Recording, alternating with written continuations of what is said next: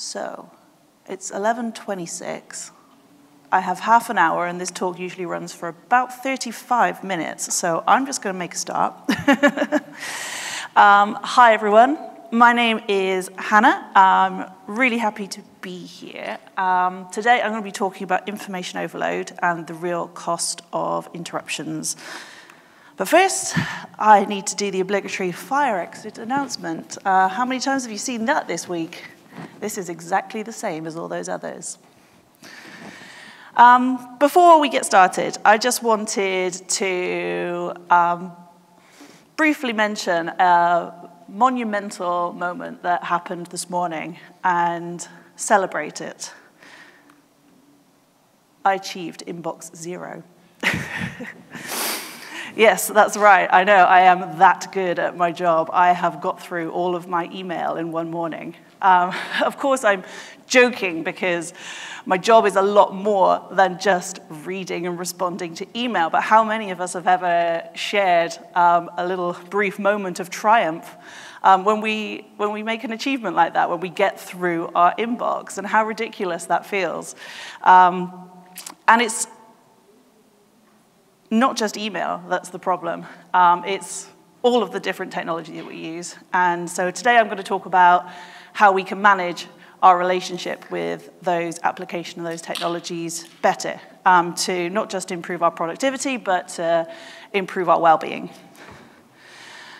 It seems ridiculous, but a, a, lot of us spend up to 50% of our time reading and responding to email and, and messages. No one's ever going to ask you that in an interview. No one's ever going to orient you in a new team and say, oh, hey, by the way, in this organization, we check our email 36 times an hour.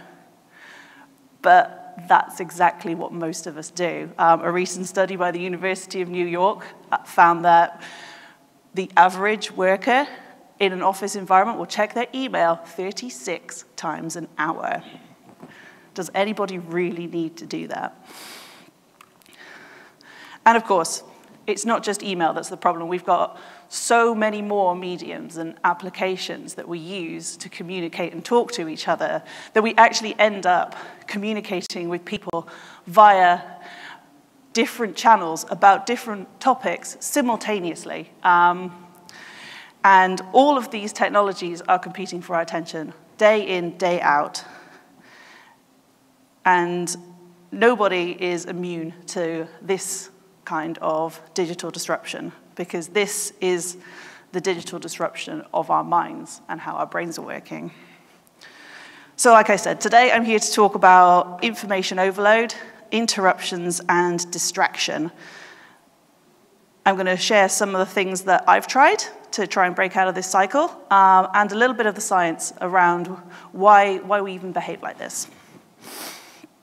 Uh, but first, I just want to share a few more startling statistics about the way we use our technology today. So the average person checks their phone 80 times a day.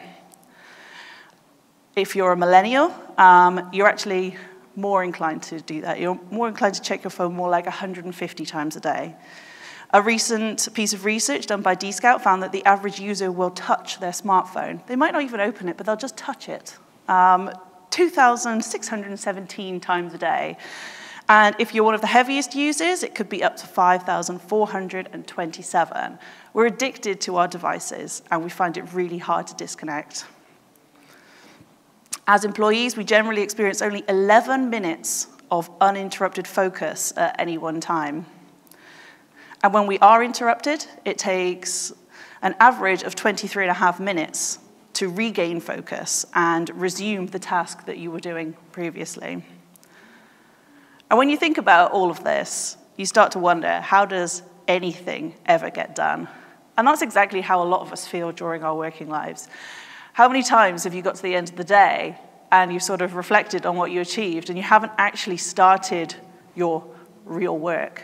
You haven't actually started that one big thing that you thought you were going to crack on with that day because you've been doing busy work instead. You've been communicating, you've been responding to messages, you've been um, reading and absorbing information. But that thing that your company pays you to do, you didn't quite get round to doing that. And in the context of working in technology, um, I think this is an even greater problem because as developers and engineers, we really hate interruptions. And we find them even harder to manage in our day-to-day -day work than a lot of other people. I think we can all relate to that feeling where you're maybe trying to root cause an issue or you're trying to solve a problem and you have that flicker of a light bulb moment in the back of your mind and you think you might be onto something and then all of a sudden you're interrupted either in person or through a notification and you lose that thread and you're so frustrated in that moment um, and it takes you maybe five maybe ten you know 23 and a half minutes to actually get back to where you were before you were interrupted I think Joel Spolsky, um, CEO at Stack Overflow, put this really well. I don't agree with everything um, he posts online, but um, he says developers need to concentrate. The more things you can keep in your head at once, the faster you can code by orders of magnitude. And I think this just really highlights um, that we, we kind of all understand this as a, as a shared problem. We understand uh, that as a profession, we need to be able to concentrate and focus to do our best quality work. And sometimes we're not creating the best environments for ourselves to do that.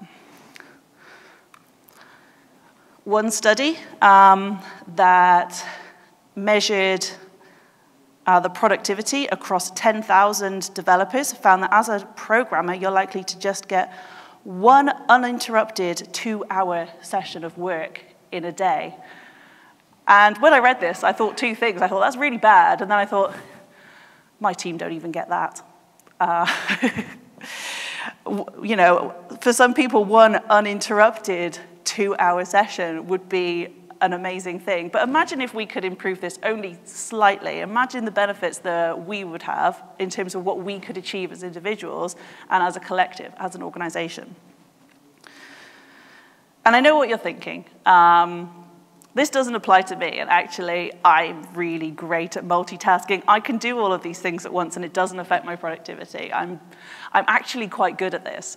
And so many people have said that to me, but I'm here to tell you that the cognitive losses from multitasking are greater than the cognitive losses from smoking weed. You might as well be sat at your desk getting high if you're sat there multitasking.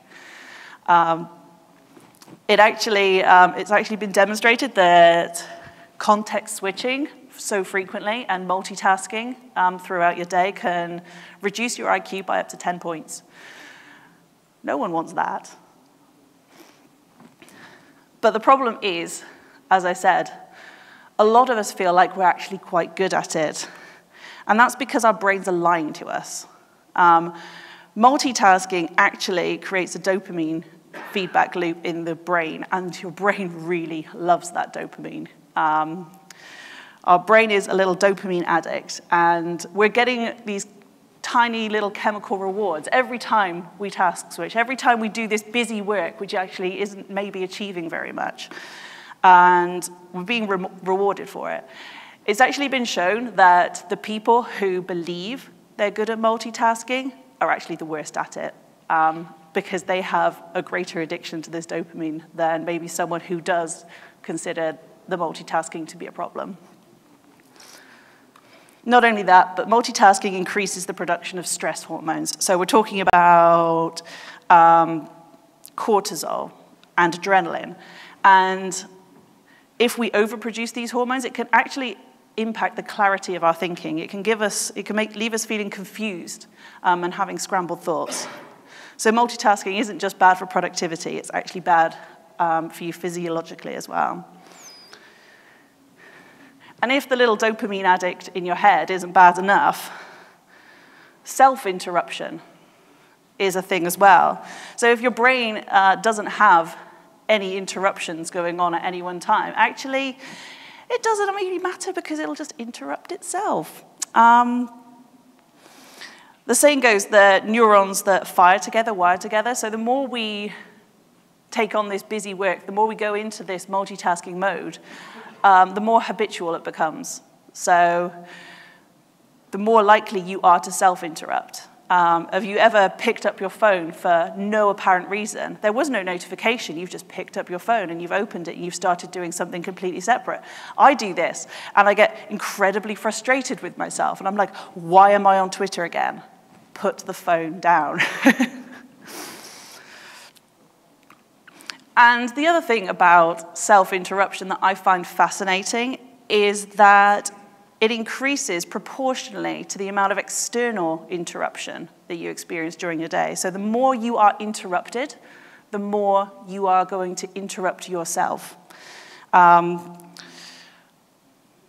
so the more notifications we receive, the more fire and forget emails that we receive, the more email we send, the more we and our colleagues are going to self-interrupt during the following hour after we do that. So we're creating this vicious cycle where we're all doing this busy work and we're actually all causing us, each other to interrupt more. If it's not external, then it'll be internal. But this is not a talk about productivity although there for sure is a productivity problem in, um, for a lot of people now due to the relationship with technology. There are actually emotional um, and physiological consequences of this behavior and of this relationship with technology. So I'm going to talk about some of those for a while. Has anyone heard of email apnea? So the term email apnea was coined over 10 years ago by a researcher called Linda Stone um, at Microsoft. And the definition of email apnea, and probably if you extend that into the technology environment today, we should just call it application apnea, um, is the shallow breathing or breath holding while doing email or while working or playing in front of a screen. And I think this is really interesting because, you know, I notice myself doing it too. Now that I know it's a thing, I notice it, and you might notice it when you go back to your desk. And you think this is ridiculous. Like, I don't change how I breathe when I'm working, when I'm working in front of a screen, but you do. 80% of us do.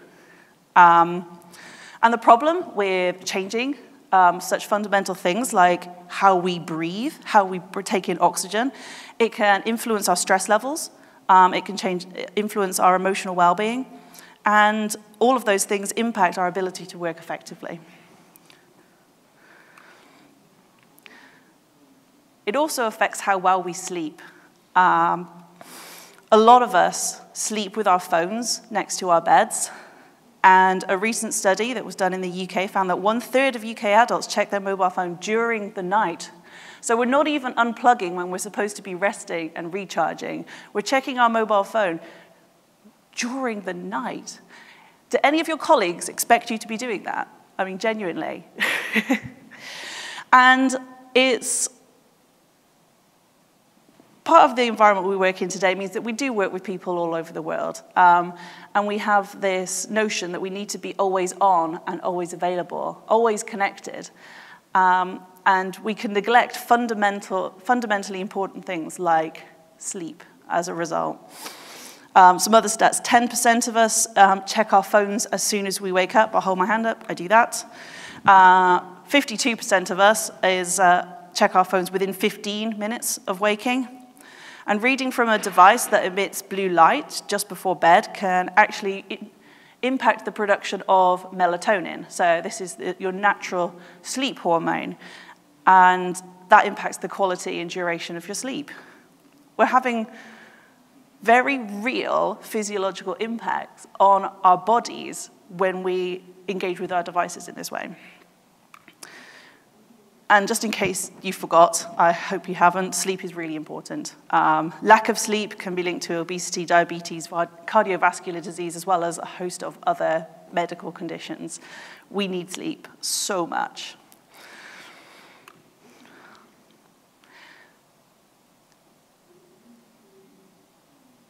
There's also an emotional um, aspect to how we engage with some of our applications that goes a little bit deeper than just a little, little flutterings of jealousy when we see that someone's having an amazing time on holiday on Facebook. Um, has anybody heard of FOMO? Yeah.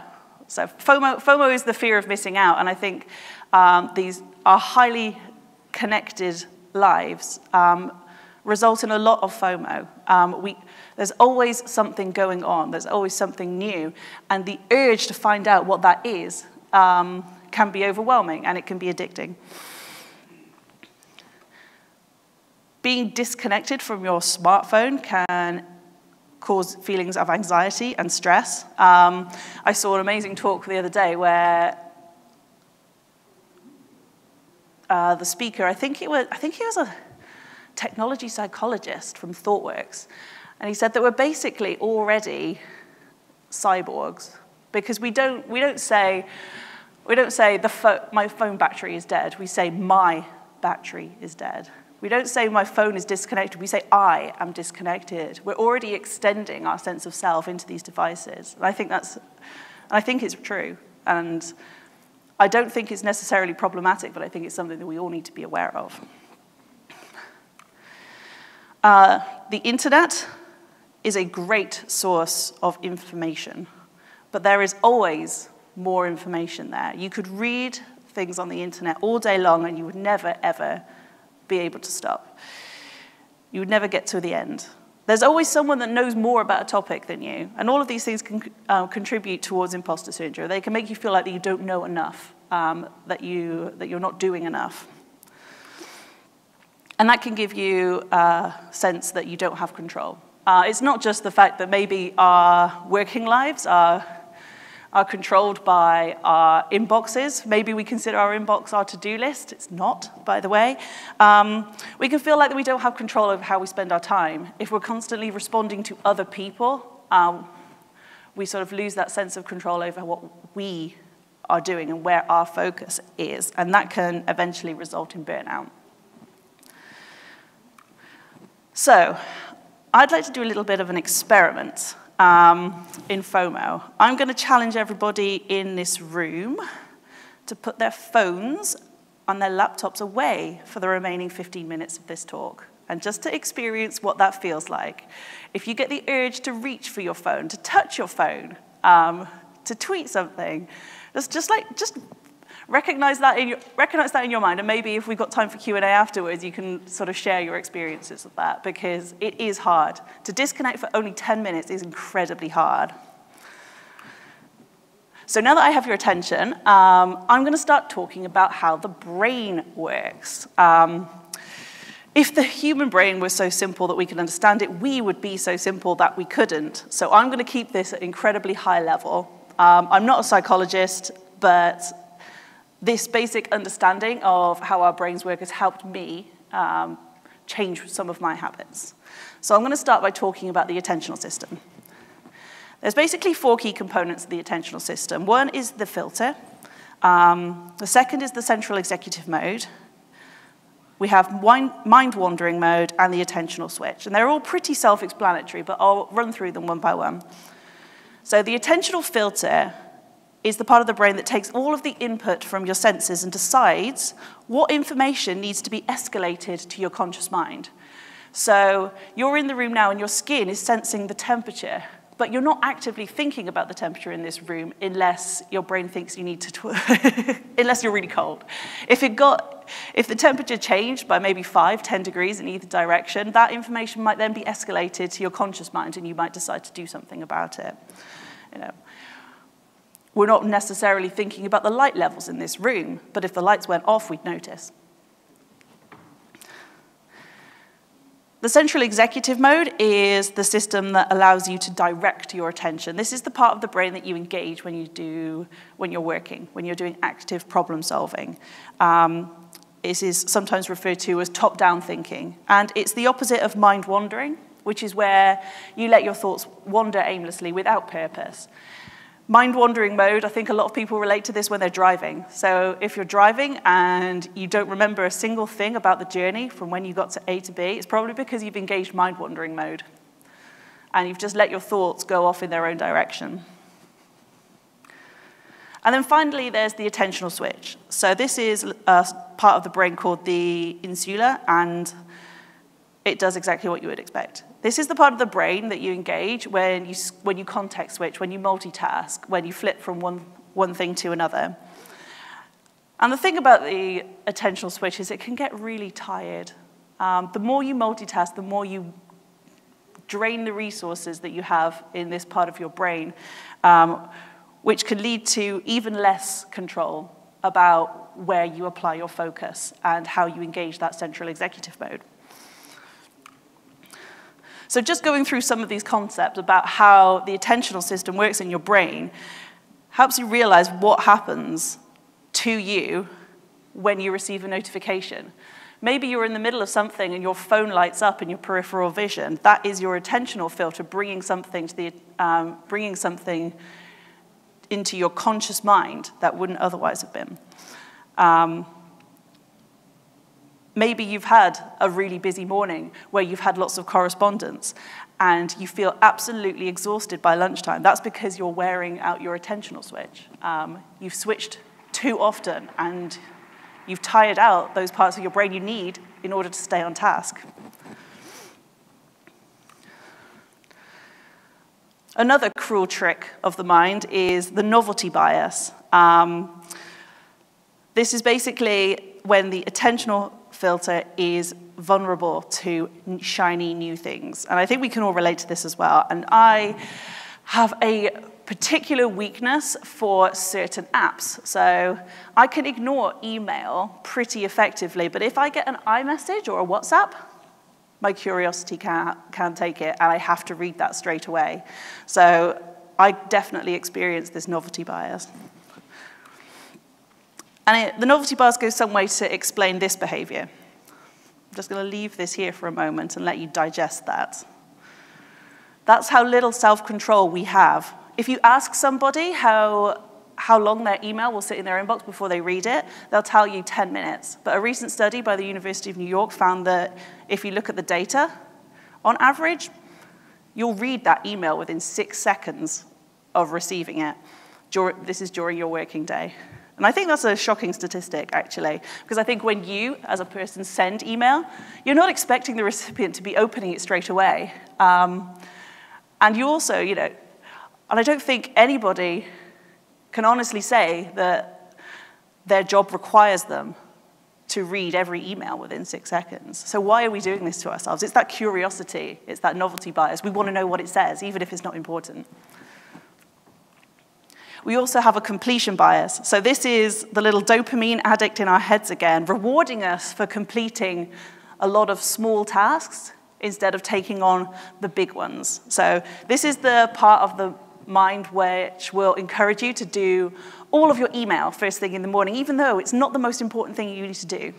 Um, it's the part of the it's the part of your brain that will encourage you to reply instantly to an email um, rather than thinking about it and responding later, or even deprioritizing it to the next day. God forbid.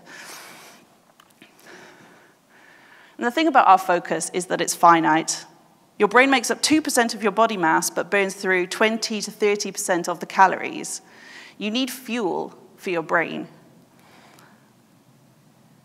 And when that fuel runs low, we're less able to think clearly. We're less able to do our jobs. So I'm going to talk about some of the things we can do to improve that uh, and to help ourselves make better choices about how we use technology. There's this thing called configuration that you might have heard of. Um, all of these notifications, you have complete control of how and when they interrupt you.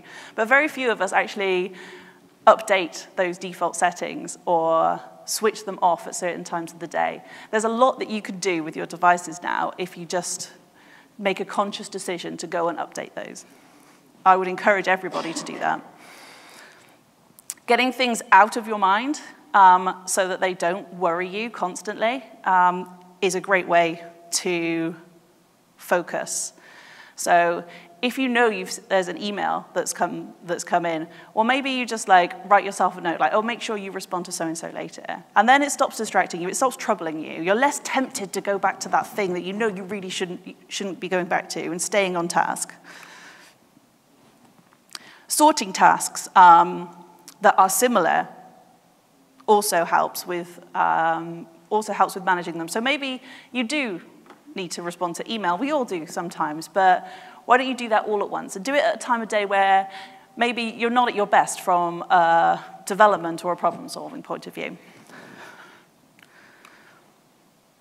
I think you might have got the message already, but don't multitask. I know it feels really good. I know that that dopamine is really addictive, but the more you multitask, the more you try to multitask, the less you're going to get done. Recognize that the routines that work for other people might not work for you. Um, experiment, do different tasks at different times of the day and see what, and see what works. I can tell you, hand on heart, that I can get so much done in the morning. I'm absolutely at my best. In the afternoon, especially after lunch, I, I slump. The problem is I'm really tempted to do all of my busy work in the morning because it gives me a great sense of achievement to read and respond to all of my email. But that leaves me in the afternoon with big project work to do. And I'm just not in the best state of mind to do it. So I actually try not to do my email first thing in the morning. I try to do my creative problem solving first thing in the morning.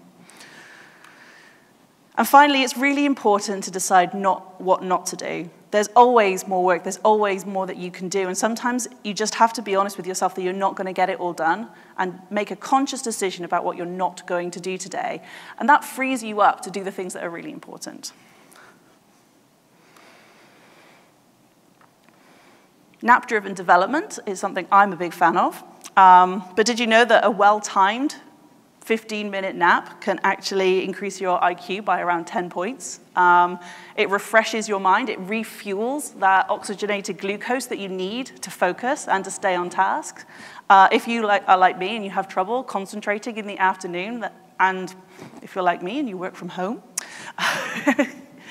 take a 15 minute nap. It'll do wonders. And there's some other things that you can do to uh, refuel your mind as well. So I've talked about naps, but if you can't take a nap, make sure you take a regular break. Um, get away from your desk. If even better, get outside into, into nature. Um, it's, shown, it's been shown that if you, even if you look at a picture of a natural landscape, um, it's de-stressing um, as a human being. So try to get outside, try to get into nature as often as you can. Don't skip meals. Um, that oxygenated glucose comes from somewhere. You have to eat. Um, don't, don't skip breakfast. It's actually been shown that chewing gum improves your focus. Um, something about increasing the blood flow to your brain or that change in behavior um, can actually really help. So maybe you can't get out of the office for 20 minutes, but you can chew gum. Allow yourself to engage that mind wandering mode. Um, throughout certain parts of the day. None of us can stay on task um, all day, every day. We have to allow our brain to operate in both modes. And actually, a lot of creativity can be derived from allowing your brain to wander, allowing your mind to wander. And finally, having a hobby. Um, this is something that definitely works for me in terms of de-stressing and decompressing at the end of the day. I like to draw. If I'm drawing, I'm not thinking about anything else. I'm not thinking about work or what's in my inbox. I'm probably agonizing a little bit too much about whether my drawing's any good. Um, but just having a hobby, um, playing a sport, cooking a meal, um, these things engage a different part of your brain and help you to refuel and reset, ready to take on the next task. I'm sure a lot of you are aware of the benefits of meditation, but I wanted to call that out as well. Um, practicing focused attention makes you more aware of where your attention is and when it drifts. It makes you better at resetting where that attention is. It improves your focus when you're not meditating as well, and it actually changes your brain. Um, the areas of the brain linked to attention and sensory processing are thicker in people who meditate than those who don't.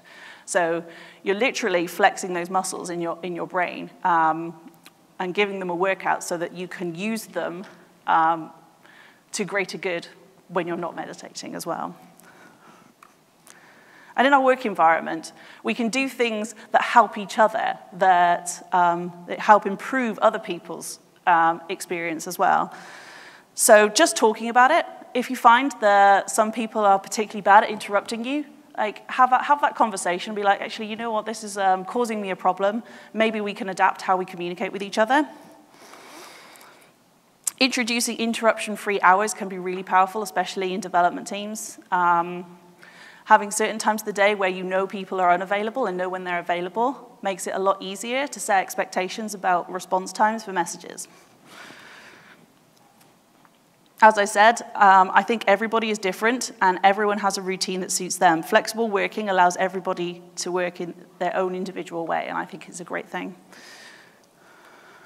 Think again about open plan offices for obvious reasons, but like I said, the more you are interrupted, the more you will self-interrupt. So open plan offices are not great for that. There are a lot of reasons why you could self-interrupt in an open plan office, and more interruptions as well. Be really intentional about your communication. Um, like I said, if you think about the recipient of your emails opening that email within six seconds, be a bit mindful about when or how you send that email. Um, don't fire off um, messages all day throughout the day be a bit more intentional about how and when you communicate with people. And pairing, um, this is something we advocate for at Pivotal, and actually it increases your resiliency to interruptions. One, because you're accountable to someone else. You're less likely to pick up your phone and start scrolling through social media if you're sat next to somebody else who you're engaged in a task with. Uh, it also helps with your short-term memory. So maybe you have found that thread of an idea that might result in the solution to a problem, and then you get interrupted. Some interruptions are unavoidable, but at least you have another person there. You've been working out loud, and together you're more likely to go back to that task and find that thread of an idea than if you're on your own.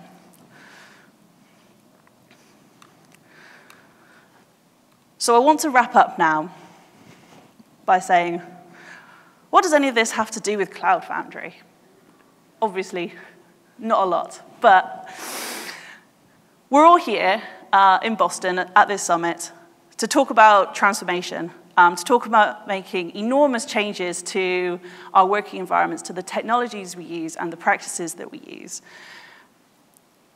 And in my opinion, this all becomes a lot easier if we start with ourselves, if we transform how we work and we act if we're more mindful and more intentional about where we apply our focus, if we cut out the distractions and we cut out the noise and we apply ourselves to the problems that are really the most important that day, then I think we have a much better chance of success. Thank you, everybody, for having me. Um, I don't know how much time we have, but I was just going to sort of open it up and ask if anybody experienced any FOMO just then. Just give me a show of hands. Did anyone get any FOMO? Yeah. Did anyone touch their phone? Yeah, that's some, yeah. Can't believe it. Shocking. oh, okay, I'll forgive you. I'll forgive you. Anyway, uh, thanks everyone for coming.